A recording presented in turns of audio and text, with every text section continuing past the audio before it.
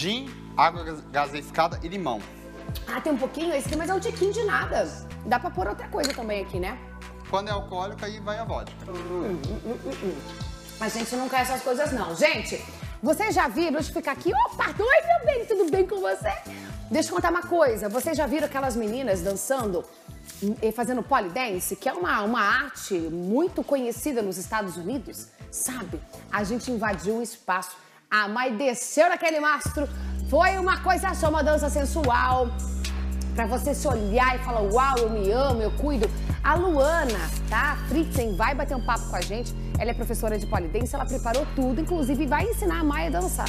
Agora, se deu certo, é uma outra história, uma outra história. Vai Gente, tem que ter uma força danada. E olha, apesar de eu não ser muito boa e a gente tá brincando agora, é coisa séria, viu?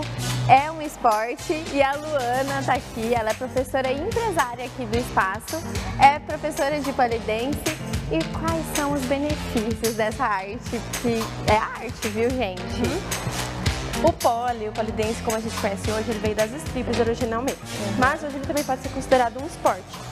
Então depende do que você quer praticar, né? Porque a origem dele veio das strippers, que não somos necessariamente strippers, mas a gente dança assim como elas dançavam. É Porque... dançarina e, e atleta. Aham, uhum, pode ser o dançarino, o atleta, artistas em geral. Uhum. A gente tá envolvendo o corpo, dançando.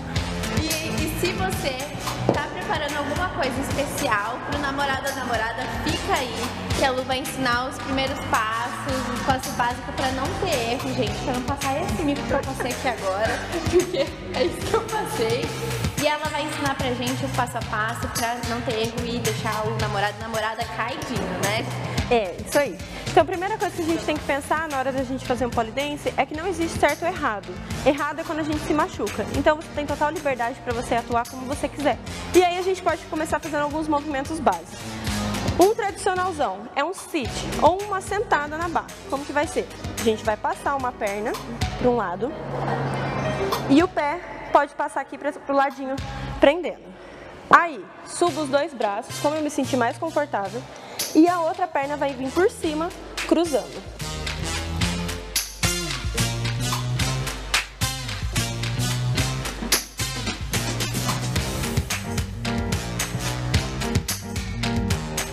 A gente está aqui agora com a Duda, que é professora de chair, de lap dance, né, Lu? Como uhum. funciona essa dança agora? É diferente do, do pod, Sim. mas é com uma cadeira. É, aqui no, no chair você pode dançar, mas você também pode fazer acrobacias. A Duda é nossa professora aqui no espiral e ela vai demonstrar alguns movimentos.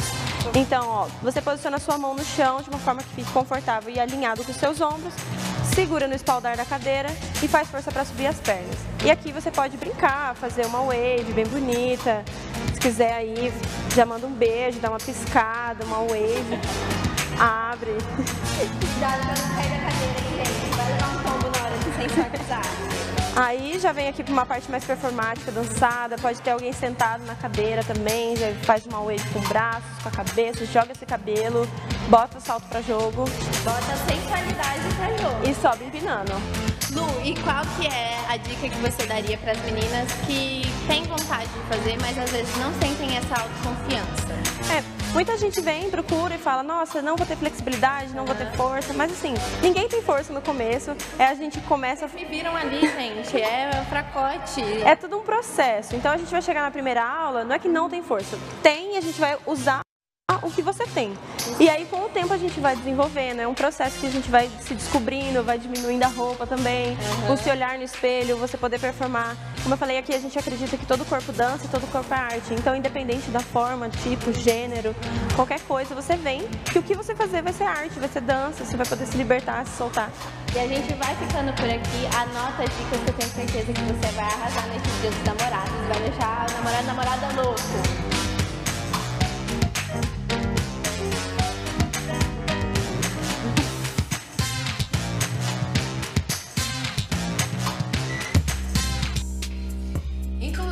A professora contou pra gente que isso vai virar modalidade, é, como é que é a produção? Vai ser esporte olímpico, vai ser esporte olímpico. Isso está sendo implementado, estou vendo como é que eles vão fazer essa modalidade. Pontuação vai ser igual patinação.